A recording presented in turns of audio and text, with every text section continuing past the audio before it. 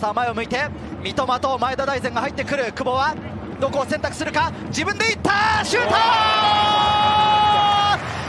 24歳以下日本代表先生久保建英が決めました2試合連続ゴールガーナ戦に続いて久保建英が結果を残しました東京オリンピック金メダルへやはり欠かせないのはこの男か久保建英左足さんいかがですか？いやそうですね。まあ、インスリータイムがあっていきなりワンプレー目ですからね、この辺うまく狙ってましたし、えでここね、やはりこう相手、またですよ、そうですね。この辺のやっぱ間合いの取り方っていうのも非常にうまいですしね、これ狙ったやはりこうね、股を通すシュートですよね。はい。非常に左下がコンパクトでボールが浮かないようにということでキーパーの資格をね